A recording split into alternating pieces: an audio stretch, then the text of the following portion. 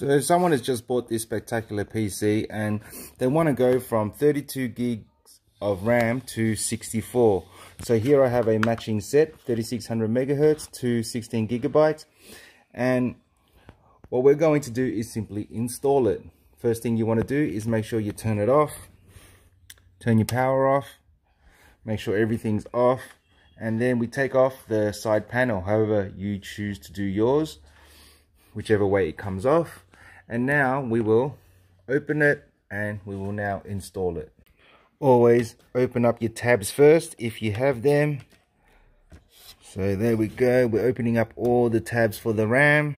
Here we go we line it up and then press down and press down. One installed let's do the next one. And here's the next one we line it up press down and just like that it's done.